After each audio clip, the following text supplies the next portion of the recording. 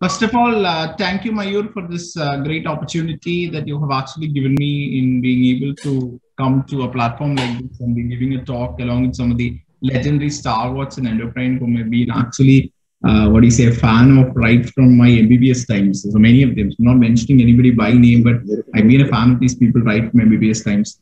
So a very tricky topic that is given to me today, a very tricky topic that is non-diabetic renal disease in diabetic patients.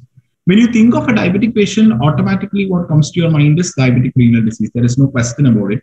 But the truth is this. This is the truth. End-stage renal disease in type 2 diabetes is related to non-diabetic kidney disease in nearly 50% of patients, which means what you assume as diabetic kidney disease and what in reality is diabetic kidney disease is a very, very, very big difference. Okay. So many people are under the assumption that when a diabetic patient comes to me, and he's having a creatinine high, that is equal to diabetic kidney disease. What is there else? What else can be there? No, that is absolutely wrong. First and foremost thing to keep in mind is that we always think of diabetic nephropathy as the last diagnosis. Our first thought process has to be going to a whole lot of other things. If nothing actually fits the box, that is when we start thinking about diabetic nephropathy. So please don't consider that a diabetic patient with renal failure is having diabetic nephropathy first up. You think of diabetic nephropathy in a diabetic patient at the end, at the end, because that is actually a diagnosis. If you talk about end-stage renal disease due to diabetes, then that is a diagnosis wherein what you can offer to the patient is actually speaking very less. So that is why Please do keep in mind that end-stage renal disease in diabetes is related to non-diabetic kidney disease. So it is non-diabetic kidney disease that we will be focusing on here. Now, why this is so important to know? You can actually see the natural history of diabetic nephropathy to study in type 1 diabetes. And what you understand is that the rate of fall in GFR over here is quite significant. It is very, very, very significant. So when you tell a patient who is having diabetes with a creatinine 2 that he is having a GFR of maybe around 55, 60, and this GFR is going to become end state, that is 15 in a matter of three years or four years. Then you're literally killing his confidence. And more or less, he, he comes to an understanding himself that he is going to become dialysis dependent in a matter of four or five years.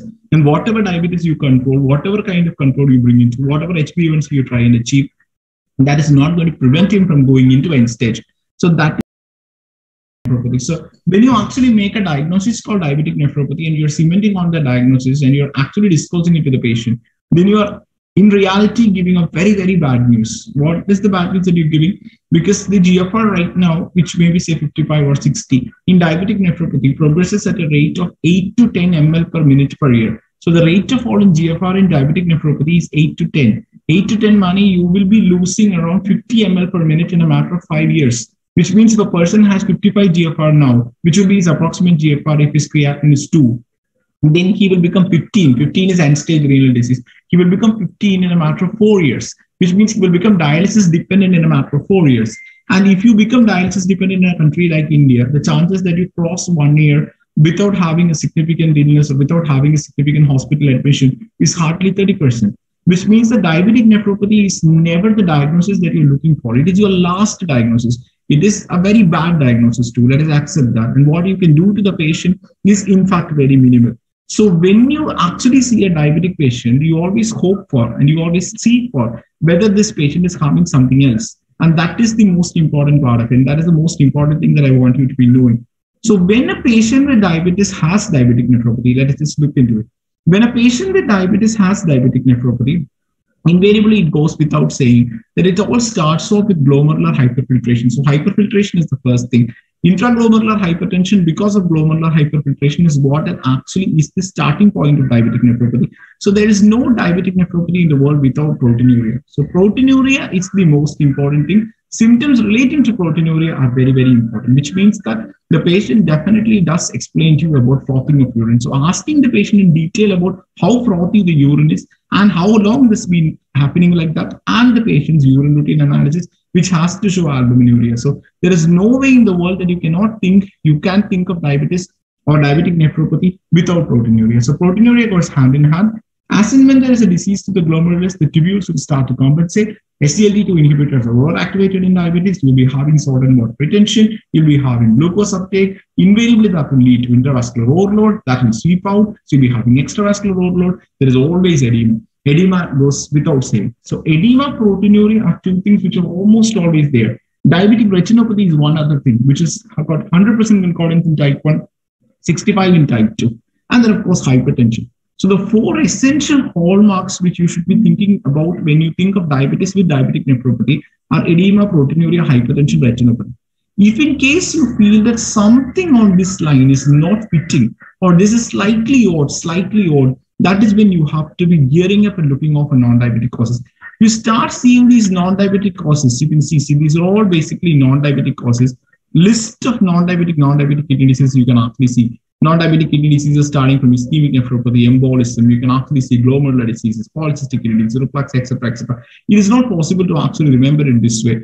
What we understand is very, very basic. What I understand first and foremost is that if there is absence of retinopathy, 65% concordance in type 2, 100% concordance in type 1. But if there is absence of retinopathy, please, please take it very seriously. Straight go ahead and do a biopsy. There is no point in thinking about it.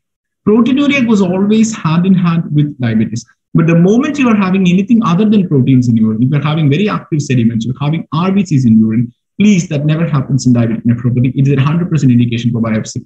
When you're having a very significant worsening of proteinuria, proteinuria that is disproportionate to the degree of renal failure, proteinuria that is disproportionate to the duration of diabetes, that once again is an indication to go for biopsy. And rapid decline in renal function without significant proteinuria. The moment you don't have proteinuria, again, you're thinking something other than diabetes. And again, after starting ACE inhibitors or ARB, if there is a fall in GFR, again, you're thinking of something other than diabetic nephropathy.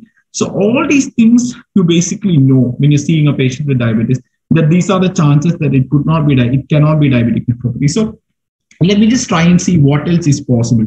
The three compartments in the kidney that you have are the vascular, the glomerular, and the tubular interstitial. So there are three compartments. Diabetic nephropathy is a proper glomerular disease. It's a proper glomerular disease. So a person with diabetes can have a kidney disease other than diabetic nephropathy due to involvement of the vascular compartment, due to involvement of the glomerulus, due to involvement of the tubular interstitial compartment. What can he have as an involvement of the vascular compartment?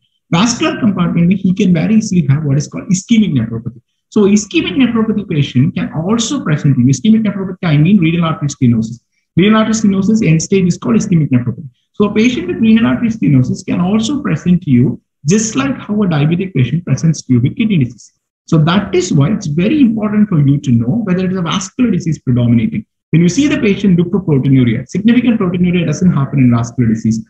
Disproportionate hypertension happens in vascular disease. History of POVD, smoking, coronary artery disease, all these things are favoring vascular disease. When you see a lean patient, slim patient with very little edema who has got renal artery stenosis kind of features with CAD, proteinuria, nil edema, very little proteinuria, and actually has got something like a bruit or even having other features suggestive of multiple vessel involvement, in all that points to ischemic nephropathy. Ischemic nephropathy is one condition wherein you shouldn't be actually giving ACE inhibitors ARBs because that can worsen your GFR. So the first compartment that has to come to your mind is vascular. Can a diabetic patient have a tubular interstitial disease? A diabetic patient having a chronic tubular interstitial disease is very unlikely, but a diabetic patient can have an acute tubular interstitial disease or an AKI, which is due to involvement of the tubule, primarily because you can make it happen. You can make it happen by giving drugs, you can make it happen by giving contrast, it can happen in the context of sepsis. So every time a patient is having a worsening of GFR, you always think of ATIN or what we call acute tubular interstitial nephritis. Acute tubular interstitial nephritis very, very commonly happens when you give something from outside. That's a drug. Any drug that can worsen AKI any contrast that you give, or very importantly, sepsis. And these patients can have infections due to hundreds of reasons. They may be having a cellulitis, they may be having a UTI, they may be having something like a pneumonia. All these things can actually worsen. So please be careful about that. In a tubular interstitial involvement, there will not be edema. In a tubular interstitial involvement, there will not be significant proteinuria. In a tubular interstitial involvement, there will be no RBCs in urine. So when you're seeing a patient who has got a very rapid worsening with no significant edema, no proteinuria, having no RBCs in urine, you are basically thinking of a tubular interstitial involvement. And tubular interstitial involvement more or less has a reversible cause. So please do keep that in mind. And a million dollar point that we have to always keep in mind is that these are elderly patients. They can have myeloma and myeloma is no more a disease of the elderly. It's a disease which you can see from 40, 45 years onwards. So when you see a diabetic patient who has disproportionate proteinuria, but that is not albumin. That's why doing 24-hour protein is very important. The moment you are having 24-hour protein value very high, but your urine routine is not showing so much of albuminuria, that means it is something else. And that something else is very often light chain in urine. So please keep in mind that diabetic patient, anemia, high ESR, don't keep high thresholds, keep a very low threshold for testing out for multiple myeloma. Myeloma and amyloidosis are very common. The more you see proteinuria, especially in myeloma, which is not albumin, that's a big chance. Anemia, high ESR, urine albumin not significant, but 24 hour urine albumin 24 hour urine protein high means always, always keep in mind myeloma. Please go ahead and do a biopsy. So that's also extremely important to keep in mind. That is about the tubulointerstitial compartment. When you come to the glomerular compartment, glomerular compartment meaning mostly it's diabetic nephropathy itself. But can you have a glomerular disease other than diabetes? Yes, you can have a glomerular disease other than diabetes when the patient presents with nephrotic syndrome. See, very, very wrongly we are taught that diabetes produces nephrotic syndrome. No, diabetes produces nephrotic proteinuria. Nephrotic proteinuria and nephrotic syndrome are two different things. You, you can get nephrotic proteinuria and need not syndrome, need not necessarily syndrome which means nephrotic proteinuria with hypoalbuminemia with edema and hyperlipidemia is called nephrotic syndrome. Diabetic patients don't get nephrotic syndrome. You check their serum albumin levels, they're going to be normal. They get nephrotic range proteinuria. So the moment you have a diabetic patient with nephrotic syndrome, that means that the syndrome is due to some other cause, we have to do a biopsy. Okay, so actually speaking, these are the list of things that you can see over here. Macroscopic hematuria means there is something else in the glomerulus. Acute renal failure, look out for the cause. Nephrotic syndrome, always look out for the cause. Very rapidly progressive renal failure, look out for the cause, especially is going to be an infection. Progressive proteinuria, disproportionate, again, look out for. RBCs, WBC, cause, look out for. Renal disease, less than five years, again, look out for. And the most important things that I want to tell you is Diabetic nephropathy is the most common cause of nephrotic range proteinuria without syndrome. It seldom presents a syndrome. It doesn't really present a syndrome. Elderly with renal failure disproportionate to albuminuria should always raise a suspicion of a plasma cell dyscrasia. Smoker with POVD plus CAD having minimal proteinuria plus edema is never diabetic kidney disease. It is very often a vascular disease. It is very often renal artery stenosis. Autoimmune diseases in the background of diabetes in a young female to be never missed. So Anything and everything can be SLE. It's not mandatory that the girl needs to be having only SLE. We're seeing a lot of patients with polyglandular autoimmune syndromes who do have type 1 diabetes alongside, and on top of it, they may be having so many manifestations. One manifestation that can be an autoimmune disease, which may be anything like SLE. So that also to be kept in mind. So when you see a patient with renal failure from today, please try to localize the compartment first. Okay. Patient having significant proteinuria, edema, RBC is glomerulus. If that is not there, it is vascular tubulointerstitial. Vascular will have hypertension. Tubulointerstitial will not have hypertension. So if you know this much, you can come to the compartment. If you think it is vascular, then it is never diabetic nephropathy. It's likely to be RAS ischemic nephropathy. Do Doppler and go for angio if required. If it is tubulointerstitial, it is acquired, acute, and the most important acute causes to be kept in mind are drugs, infection, contrast, and myeloma. If you come to glomerulus, in the glomerulus, mostly it is diabetic nephropathy. But If you are having macroscopic hematuria, then it is not diabetic nephropathy. If you are having nephrotic syndrome, then it is not diabetic nephropathy. For every case of nephrotic syndrome and macroscopic hematuria, please do a biopsy. Okay, so this is basically the take home that I want to tell you. And once again, emphasizing on the fact that to make a diagnosis of diabetic kidney disease, anybody, any Tom, Dick, and Harry can do. But to come out with the diagnosis that it is not a diabetic kidney disease is where I think we should be showing our talent.